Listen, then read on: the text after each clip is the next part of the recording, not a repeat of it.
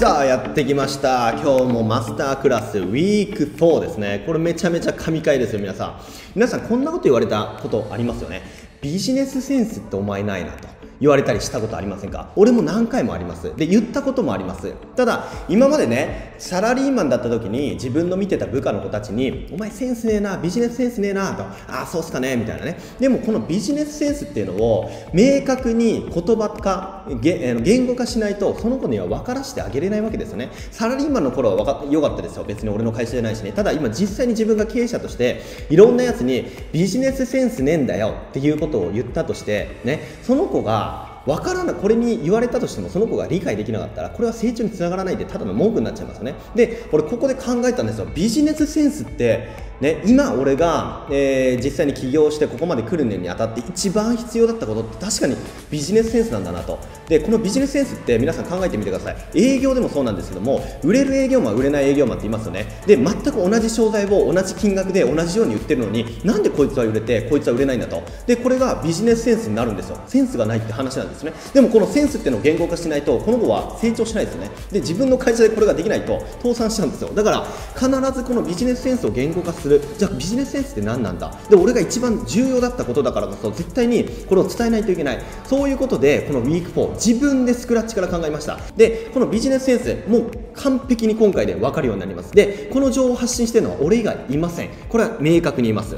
はい。ではこのビジネスセンスやっていきましょうと。じゃあまずですね、えー、早速なんですけどもここの左と右の女の子見てください。この左の女の子ですね。これ優子さんという名前ですね。この人ね大学生でみんな周りが就活してる中就職が嫌だったと。就活したくないということでじゃあ何しようかなってトレーダーになろうとしたんですね。じゃあ友達に何の株買ったらいいかなって言って友達がアップルの株買っときなって言ってアップルの株購入したんですよ。その優子さんなんですけどもそのアップルの株をアップルっていう会社をリンゴ農園の会社だと思ってたらしいんですね。それほど、えー、知識ないけどそれほどね人の、えー、言葉助言を聞いてしまう、まあ、優しすぎる子、まあ、優子さんですね。で右の方一方で右の方は沙織さんという方です、えー、専業主婦で子供が3人で節約が大好きな人ですね、えー、この2人の名前ちょっと覚えておいてくださいと。これメモしなくていいです。覚えておいてください。で、えー、まずですねこれがないと100%企業に勝てません。大手とか、えー、中小企業とか関係なしに100%必要なのっていうのはビジネスのセンスなんですよ。スティーブ・ジョブズもなんであんだけ大きい会社ができたかと。ね。ガレージから始まってるんですよ。これがなぜかってとやっぱりこれもビジネスのセンスなんですよ。だからこのビジネスセンスの習得こんだけビジネスセンスビジネスセンスって言ってるけどもビジネスセンスってなんやねんと俺も思ったことありますよ。ね自分で言っててビジネスセンス何ですかって言われた時にうーんまあとにかくセンスがねえんだみたいなね。こういう発言をしている限りはビジネスマンとして二流なわけですよ。で逆にこれを知ってれば皆さんめちゃめちゃ完璧に事業が遂行されます。なぜかというのをちょっとお話ししていきたいと思います。めちゃめちゃ今日今回楽しいですよ。やっています。でまずセンスっていう言葉ですね。これはもう言葉の通り英語で直訳すると、まあ、感覚ですよね。センスイコール感覚。だからこのセンスイコール感覚だからこそ感覚的なことだからこそ僕がいつも言ってるマニュアル化に落とし込むこと。だから具体的な施策に落とし込むことっていうのはめちゃめちゃ難しいわけですよ。だからえー、センス感覚。だからこの感覚をどういうふうに言語化して、えー、形化して、えー、それを落とし込んでいくか。マニュアル落とし込んでいくか。これのフレームワークフレームワークっていうのはこうやれば必ずできるよっていうのを今からお伝えしていきますということですね。でこのセンス感覚に落とすのは難しいと言いつつもセンスがないと営業も広告もマーケティングも経営も講演もうまくいかないんですよ。わかります？例えば講演なんて同じこと言ってても A さんと B さんが話してたら全く違うように聞こえますよね。例えば行列のできる法律相談所ってありますよね。あそこの行列のできる法律相談所って島田紳介さんがもともと司会をやってましたけどもまあいろんなヤクザ絡みとかであの変わっちゃいましたよね。でその後に誰かあのあの人の名前忘れたけどもその人がやって一気に視聴率が落ちたと。でも企画は全く同じで同じように、えー、企画を進めてる中で話す人を変えるだけであんだけ視聴率に変化がある。まあこれも講演も一緒で講演ですよ。でもそこより売り上げ上げてるのっていうのはこれが経営のセンスなわけですよね。だからセンスを持てば全てがうまくいく。逆にないとどんだけ資金を持ってようが大手だろうが中小だろうが勝てないんですよ。逆にあれば個人でも勝てるっていう時代ですよね。でセンスがない。じゃあセンスがないセンスがないってみんな言いますけどセンスがないってどういうことだということなんだけどもこれです。この一言に限ります。感覚刺激スキルがないということです。感覚センスがないっていうのは感覚を刺激するスキルがないということですね。でこれがどういうことかということですね。はい。感覚を刺激するスキル。これを一言で表すと見えないものを見せるスキルなんですよ。もう一回言います。見えないものを見せるスキル。イコールこのスキルがあれば感覚を人間の感覚お客様の感覚を刺激するスキルがに直結する。この見えないものを見せるスキルということですね。はい。これをもうちょっと深掘りしてみましょうと。じゃあ例えばね皆さんが今目の前で見ているもの。見てるものっていうのは見てるものとか聞いてるものとは違うことが頭の中では浮かんでるんですよ。わかります？わかりますよね？じゃあ今ゾウさんって僕が言いましたと。ね？ゾウさんって言ったら頭の中ではゾウさんどういうものを思い浮かべてます？それを紙に書いてみてください。で右の人お母さんでもあの妹でも何でもいいですよ。彼女でもね。それを紙に同じように書かしてみてください。その絵が一致することはないですよね。だからこういうふうに聞いてるものっていうのゾウさんって聞いたとしてもこの聞いてるものっていうのは別に、えー、そのまま、えー、頭に浮かぶのっていうのは人それぞれなわけなんですよね。だから見てるものっていうのも実際に見てるものでもここの頭の中には違うものを想像してるわけですよ。でこれがですねだからこそ、えー、重要なのっていうのが視覚とか聴覚での伝達ではなくて感覚で伝達することっていうのがこのスキルが一番重要なわけですね。わりますね。でここまだふわふわしてるかなと大丈夫です。一個一個丁寧に説明していきますと。でこれ物事を正直に伝えては絶対に情報は脳に入ってこないんですよ。ここだけここだけ理解してください。正直に人が見てるものをこれはこれですよって伝えたとしてもその情報は物に絶対に入ってこない。で、えー、これが A を伝えたいなら何を伝えないといけないかっていうと共感ですね。共に感覚共にある感覚を伝えていく。この共感を伝えるっていうことが重要なわけですね。まだ大丈夫です。まだふわふわしてて大丈夫です。これを図を用いてグラフを用いてあこういうことかっていうのがここから10分で分かるようになってきます。でこれがあるとめちゃめちゃじあのあの大切なので。で結構ねあの今 MUP の方でも、えー、YouTube でアウトプットしたりとか、えー、ブログでアウトプットしてる方もいるんですけどももうそこの段階はできたと分かったと、ね、じゃあ次はそれのボリュームの話じゃなくてクオリティを上げていこうってところになってるわけですよね。でこのクオリティを上げる例えばブログでも同じ内容なのに全く読まれる、えー、時間とか読まれる長さが違うっていうのはこのセンスがあるかないかなんですよ。でこれどういう意味だと言うんですけども大丈夫です。見ててください。はい、じゃあまずですねこれです。TSA シンキングこれは僕が作った言葉です。これどどういうことかっていうとこの考え方です。2 steps ahead の考え方ですね。2歩先を読んで、えー、感覚を刺激する考え方ですね。でえー、2歩先を読むって何かっていうとじゃあ例えばですねさっき A のものを見ても B のものが頭に浮かんでるって言いましたよね。で例えば皆さんにここに、ね、僕が唐辛子屋さんでよくお祭りとか行くと唐辛子屋さんってありますよね。唐辛子を売ってる、えー、屋台の人だとしましょう。で皆さんが来ました。で皆さんが僕の売ってる唐辛子、えー、見ました。そうすると皆さんは唐辛子を見てるんですよ。唐辛子を見てる。これはワンステップアヘッドの考え方で僕はね皆さんお客様がこの唐辛子を見てどういうふうなことを思ってるのかなっていうのは想像できるんですよ。わかります？例えば皆さんに真っ赤っかな唐辛子を見せたとしたらこの唐辛子辛いだろうな赤いだろうな辛そうだな赤そうだ赤いなっていうことをお客様が思ってる。これはワンステップアヘッド。これは大体わかるんですよ。みんなにコミュニケーション能力がある人は。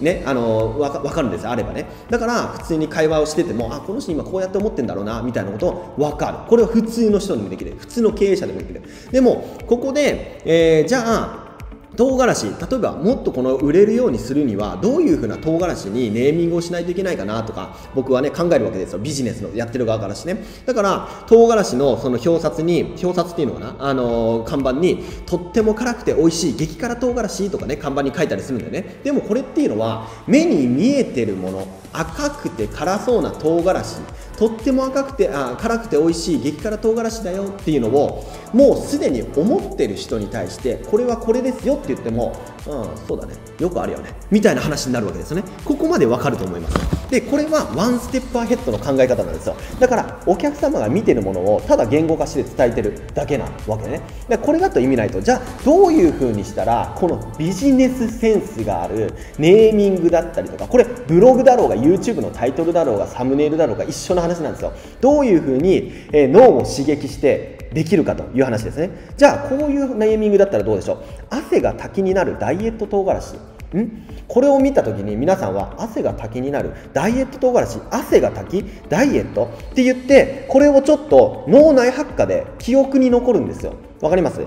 赤くて辛い唐辛子を見せて、ね、を売ってるお店がとっても赤くて辛くて美味しい激辛唐辛子っていう看板を掲げてもああそうだねそうなんだみたいな。でも汗が滝になるダイエット唐辛子っていうのはさっきのネーミングよりも多少、えー、記憶に残るようなネーミングになると思います。これが2 steps ahead の考え方なんです。これ何かっていうと唐辛子があります。で、 one step ahead と two step ahead、人間の頭の想像には、この2つのステップがあるわけですね。で、唐辛子がありました。で、 one step ahead っていうのはビジュアルイメージで、まあ、見た通り辛いとか赤いっていうのを、まず、えー、言葉で表すと、こういう言葉が出てきますよね。だから、ほとんどの業者とかって、まあ、お店とかっていうのは、この真っ赤っかで美味しい唐辛子とかね、そういう風なビジュアルのままのメッセージを伝えちゃってるんですよ。だから、記憶に残らないんですね。ただ、ここでコモンイメージとして唐辛子っていうのをね唐辛子っていうのを、えー、見た時にどういう風なコモンイメージっていうのは共通して感じるイメージ想像ですね。人々が。例えば唐辛子って聞くと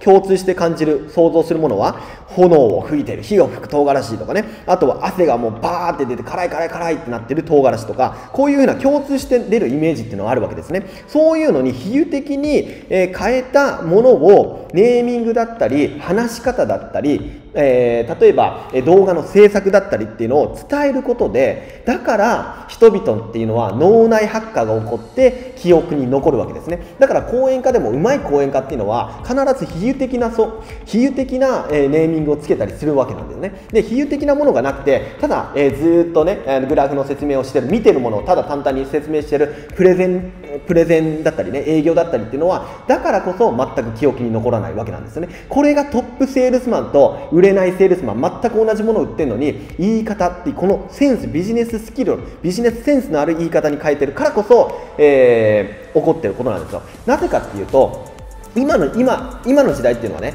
えー、その場で買われるってことはないんですよ。なぜかっていうと比較時代だから。例えば皆さんが営業マンでね自分のシステムがいいですよってね訪問したとしてもその会社っていうのは A 社も B 社も相見積もりを取っていろんな、えー、会社を比較するわけですよ。でも比較するかと絶対にその場では買われないわけですね。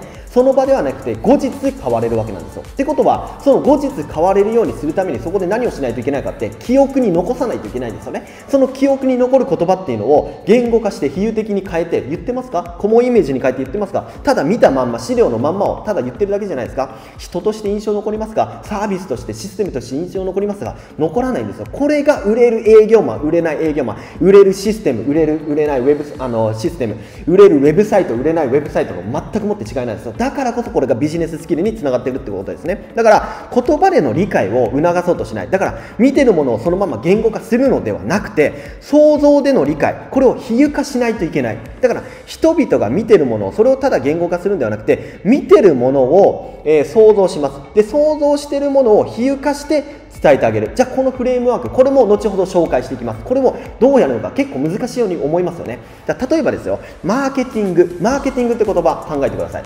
マーケティングねホームページ皆さんねマーケティングやりたいと。皆さんがお店の店長だったらマーケティングやりたい。なんかマーケティング業者ないかな？マーケティングって検索してじゃあ飛び込み営業でねあの、まあ、営業マンが後日来て私はマーケティング会社ですと。